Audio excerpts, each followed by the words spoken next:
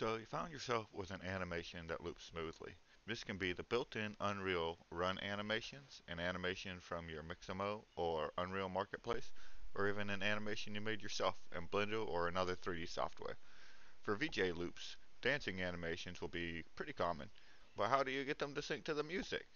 In this video, we'll show you how to sync any animation in Unreal to any BPM for synchronizing to music. Ba-bum. Okay, uh, this first video is going to show you how to sync any linked animation in Unreal to any beat per minute. And it's a pretty simple formula really. Uh, what you do first is you take your original time, in this case 1.1 and 2 thirds. You can find this pretty easily by opening up any skeletal mesh and going over to your animations hovering over an animation and you'll get a little text box that shows you the details, one of being the sequence length, 1.66667, and you're going to divide that by your target length or duration, which is 2.4, and you can find this by going to the beat per minute calculator website, is what I do, and uh, type in 100 beats per minute is what we're looking for, and find the closest match uh, to your original duration, and uh, you could use 8 or 16, but that's going to really slow it down. Either way, uh, you pick your target duration in seconds and divide it out.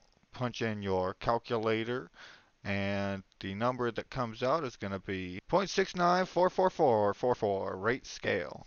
And the reason we use the word rate scale, uh, which I wouldn't usually use in this uh, place, because that's the term that Unreal uses to tell you how fast or slow your animation is being played.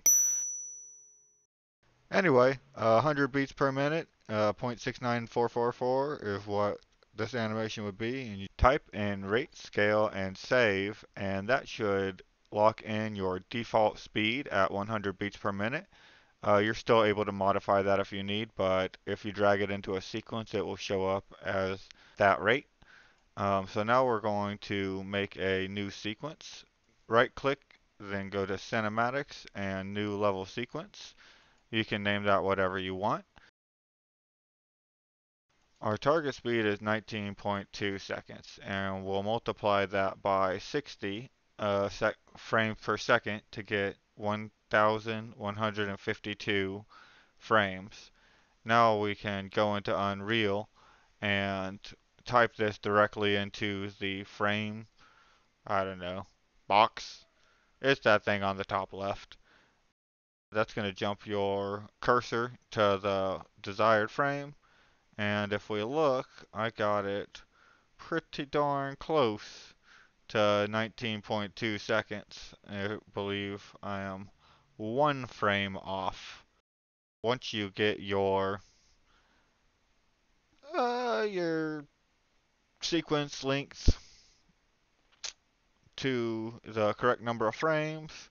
You can add your skeletal mesh or actor if you made it into an actor to your timeline and add your animation and if you hover over it you'll you should see it actually say the 0.69 scale um, it uh, inserted the animation where the cursor was, which was at the end. So we'll drag it to the beginning and full, bring it to the full duration of the timeline. If we zoom in really close to be super particular and finicky, we can see that the animation finishes exactly where the uh, animation finishes. Perfect. Alright, and now suddenly your animation is looping at 100 beats per minute. Woohoo! I guess. Oh, where'd all those lights come from? I guess you'll have to tune into our next tutorial to find out.